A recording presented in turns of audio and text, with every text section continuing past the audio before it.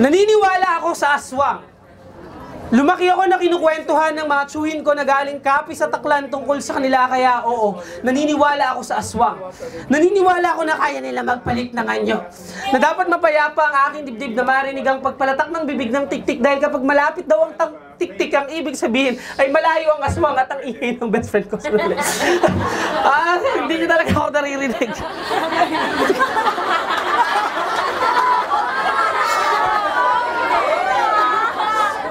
Parang ibig sabihin na yung malayo ang aswang at oo. Alam ko, malamang iniisip mo na nababaliw na ako napakadali ko namang mauto pero hindi ako nagsisinungaling. Naniniwala ako sa aswang.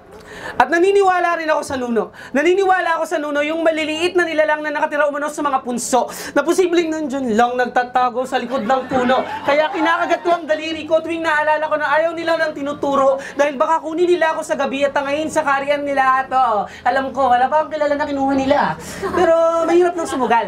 Kaya kapag ako ay nagturo sa isang masukal, nagubat, kinakagat ko agad ang aking hintuturo dahil madali akong maniwala. At naniniwala ako sa mga nuno.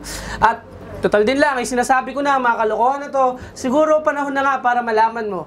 Ang dami pang mga bagay na walang basehan ang pinaniniwalaan ko.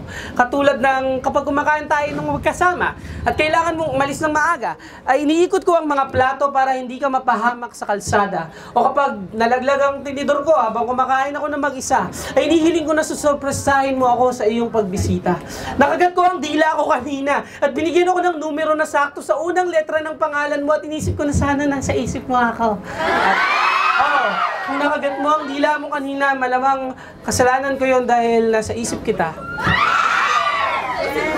Nasa isip kita sa umaga.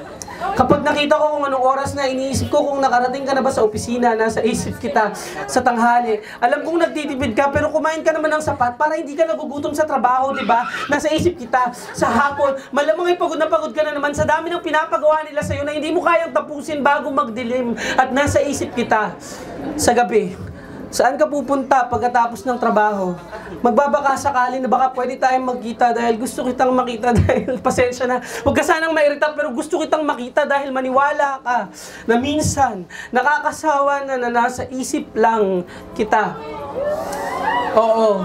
Hindi nga siguro ito ang tamang panahon para sabihin ko sa iyo ito bilang puro maligno at sa halamang lupa ang kaninang mga binabanggit ko. Pero intindihin mo, kung kaya kong maniwala sa mga bagay na walang basehan katulad ng mga to, bakit ako hindi maniniwala sa iyo?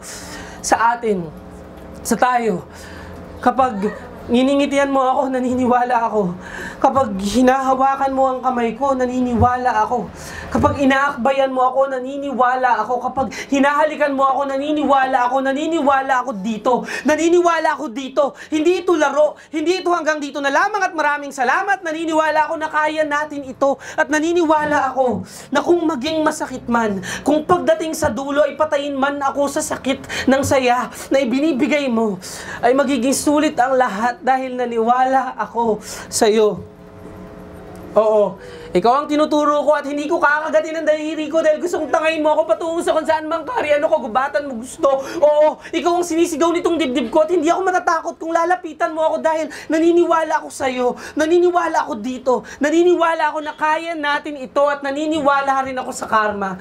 Na kung ano mang ibigay mo sa kalawakan ay siyang ibabalik nito sa'yo nang may interes pang kasama. Ilang beses ko nang isinilid ang puso ko sa garapon at itinapon ito sa dagat sa pag-asa na may magbabalik nito sa akin ng buo pa pero ang tagal na. At wala pa akong nakukuha.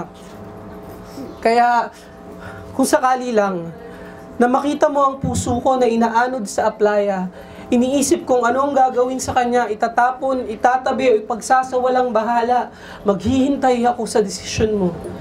Maniwala ka, maghihintay ako. Ibalik mo sana